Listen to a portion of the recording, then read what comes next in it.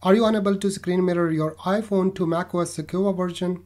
Let's fix it. On your Mac, go to Setting and sign out your ID. Make sure that the same ID you are using on your iPhone, sign out there and log in again. Go to General, AirDrop and Hands Off. Turn it off and then back on and make sure that it's selected as AirDrop to everyone. Then try to airdrop a file from your macOS to iPhone and then iPhone to macOS and see if it's working. Make sure that you are using the same network on your macOS. Go to Wi-Fi and turn it off and then turn it back on. Follow the same procedure for the Bluetooth and AirDrop as well.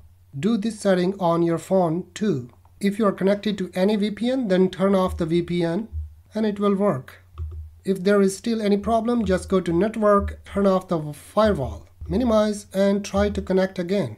Go to screen mirroring app and go to screen mirroring and settings make sure that you